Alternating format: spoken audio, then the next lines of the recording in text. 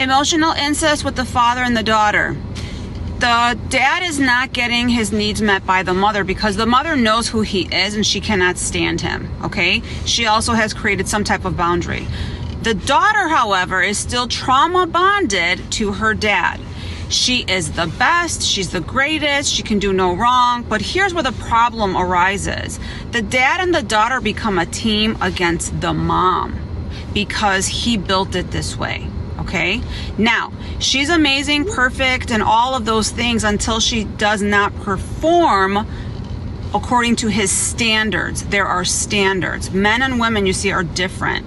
So, you know how the narc mom loves her son unconditionally and beyond? The narc dad does not do that. He claims to love unconditionally, but she sure does suffer the daughter when she does not behave. Emotional incest with the father.